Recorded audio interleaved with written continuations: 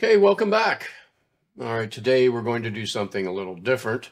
Once again, it's going to be a very short video just with one program in the uh, ACU. Uh, but this one's a very special one. This is the monitor program, and this is the jumping off point between the computer vision application and your application. Um, you know, the, the computer vision application we've gone through we've stepped through it. We've done uh, the annotation with the select program. Then we did the training. Then we did the debugging uh, with the six cascade analyzer. And now we're at monitor. Uh, something I want you to note is that we've written no code. There's no code that you've done so far. But this program is the jumping off point where you take over. I mean, this is all fun and games, and it's nice to show your friends that you can do this, but you need to put this to work. You need to do something with this this uh, uh, video. So I'm going to show you how easy it is to do. It's really kind of amazing. I was on Reddit the other day, and I was talking to somebody and uh, describing what I'm about to describe to you, and he said it sounds like magic. And to which I, replied to him, there is no such thing as magic in the world. But I think you'll agree that it does have, it is kind of impressive the way this works. Okay, so let's begin. This, the monitor program is the part that you would give to your client, you know, when you're done. It's a four camera system. Uh, every, I'm going to call them channels for lack of a better word. Each channel is completely independent so that you can have uh, a different camera, you can have a different cascade, you can have different settings, record to a different position. You know, it, it's just four completely separate uh, video feeds, and which you can see now. Actually, right now we have um, I have two cameras for the video itself, and we have four for the monitor. So I have six cameras pointed at me right this moment, which is yeah a little bit creepy, but you know we'll go on from there. All right, so here's how the jumping off part works. Let's just go in here. Now, now one thing about this, since they're four independent channels, you could have four, you could have one camera with four different classifiers. So you could be looking for four different things at the same time, or you could have four cameras, or you could have uh, four different cascades. Right now we have four cameras, cameras all running one of the Hammer cascades. I'm not sure which one it is, but that's what we're using for this. All right, now I'm going to show you how complicated this is to connect to your program. You put your mouse over a camera, and after, I don't know, a couple seconds, it brings up the settings. All right, let's move the settings over here. Now you can set the scale factor and the neighbors per channel. Each one, like I said, everything is completely independent. You can record this channel, you give it a name, your connection string, stuff, you know, some uh, other things. But the important thing here, and the way this works, is this button called UDP, and that stands for User Datagram, Datagram Protocol. And there, we turned it on. And that's it it's done. There's no setting IP addresses. There's no telling your computer, telling telling this program anything about your computer. It just works. And I'm going to explain a little bit about how that happens here.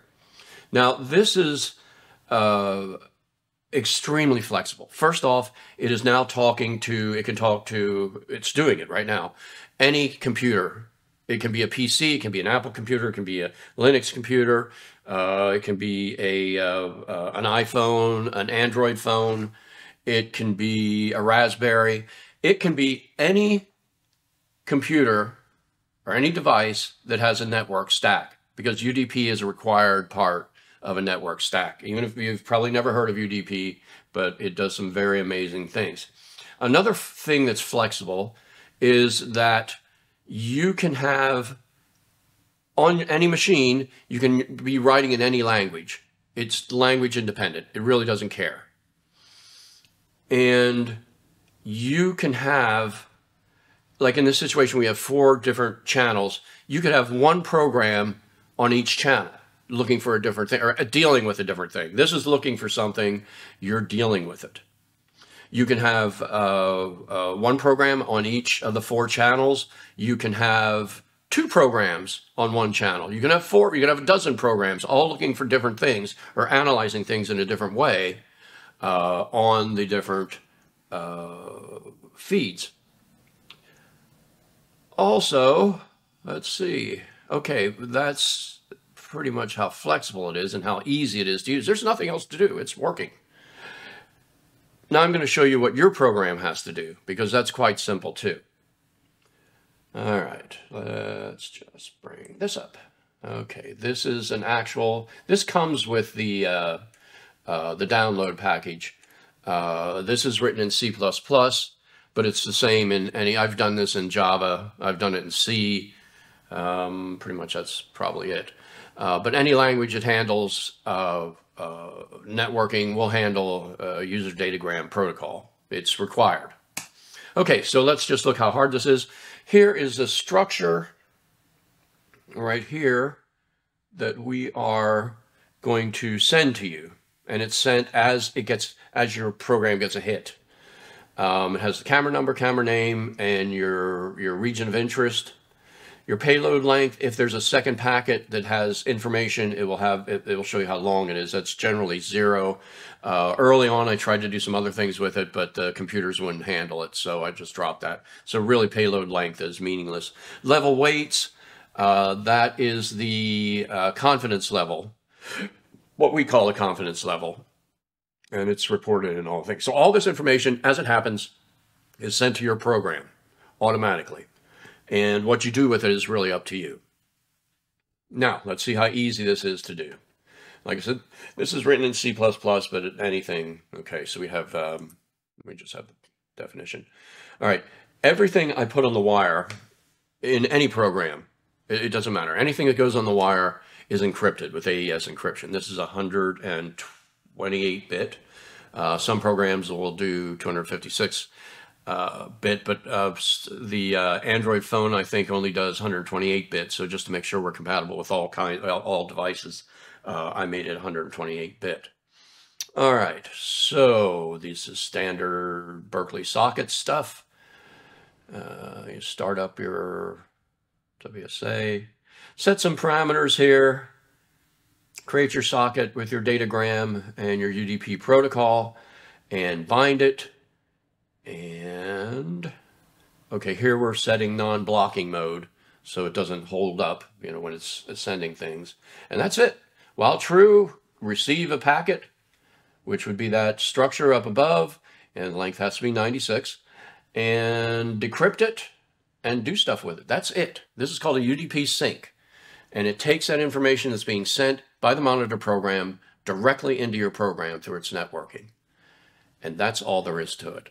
Now, what you do with it is entirely up to you. You know, you're searching widgets for widgets on an assembly line or I don't know, I don't care. But this is the way that you get information from your your video capture system into your program. And that's pretty much it.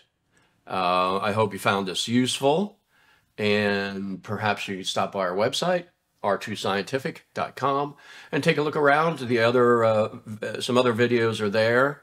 But like I said, up to this point, we've done all the computer vision. I've done all the computer vision and you've written no code. And this is just your jumping off point.